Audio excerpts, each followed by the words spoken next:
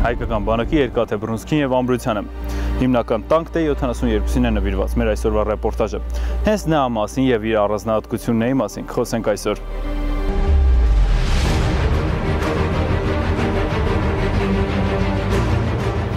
Առաջի տեխնիկան, որ ես յուրացրել եմ բախտի բերմամբ, եղել է հենց T-72 տանկ։ Ինչպես ասում են տանկիստները, հենց առաջի հայացքից մենք բոլորս էլ սիրահարվեցինք T-72-ի վրա։ Տանկը նախատեսված է հակառակորդի կենթանի ուժը, զրահապատ տեխնիկան եւ ցածր թրջող օբյեկտները ոչնչացնելու համար։ Պետք է հոգատար գտնվես քո տեխնիկայի հանդեպ ու շատ կարեւոր է որ դու սիրես քո տանկը։ 30000 մեքենա։ Ահա այն թվականակը, որն արտադրվել է մարտական այս մեքենայի ամբողջ գոյության ընթացքում։ Ավելին այն հասցրել է մասնակցել շուրջ 2 տասնյակից ավելի պատերազմների։ Իսկ պետությունների թիվ, որոնց զինանոցում ինչ պատվավոր տեղն է զբաղեցնում այս զրահամեքենան, վաղուց անցել է 50-ը։ Այս ամենը վկայում է པարզ մի իրողության մասին։ T-72-ը ոչ միայն արդարացել է ինժեներների բոլոր սպասումները, այլ ավելին դարձել է 20-րդ դարավերջի ամենատարածված ու արդյունավետ տանկերից մեկը։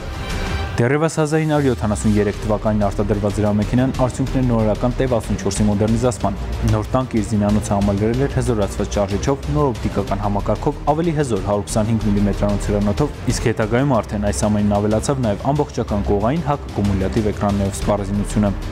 Հիմա մենք կմիացնենք ստաբիլիզատորը, որ օժտված է տանգը։ Դա կրակի կառավարման համակարգ է, որը օգնում է հրանոթը պայել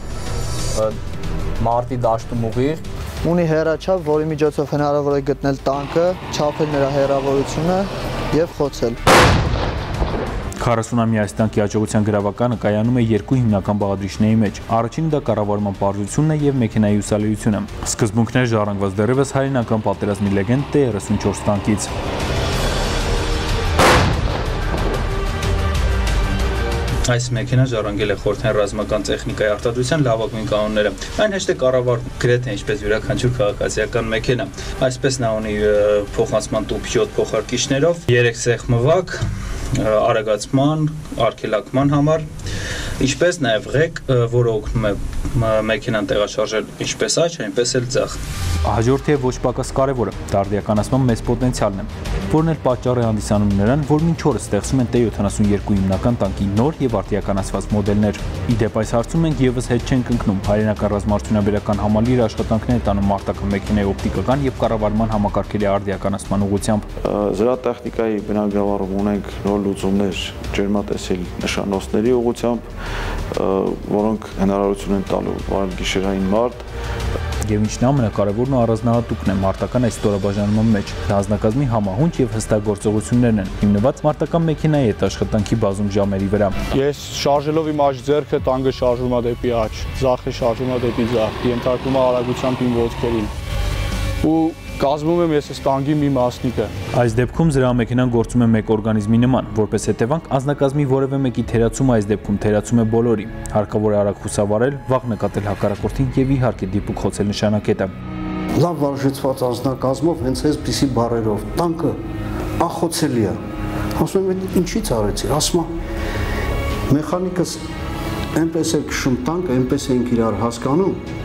որ քանի անգամ կողքներովս կարակեցին քանի անգամ կողքներս պայթեց ոչ մի հատ մեջ չկպավ։ Եվ իմ խորին համոզվամ, դա լավագույն զենք, այն զենքն է, որին դու տիրապետում ես կատարելապես։ Հայաստանի Հանրապետության զինված ուժերի տանկային ստորաբաժանումներում արկա է մի հին ավանդույթ, շարանգված դեռևս խորհրդային բանակից։ Հայրենական պատերազմի ժամանակ յուրաքանչյուր խոցված տանկի համար անձնակազմը ավելացնում էր 1 աստղազրահատեխնիկայի փողի վրա։ Այժմ Հայաստանի եւ Արցախի Հանրապետությունների երկաթե բրոնզկը կազմող T-72 հիմնական տանկերի մեծ մասը զարդարված է բազում նման նշումներով։ Եվ ինչպես իրենք տանկիստներն են ժպիտով ասում, անհրաժեշտության դեպքում նոր աստղերի համար միշտ պատրաստ ենք տեղ գտնել մնացեք խաղաղությամբ։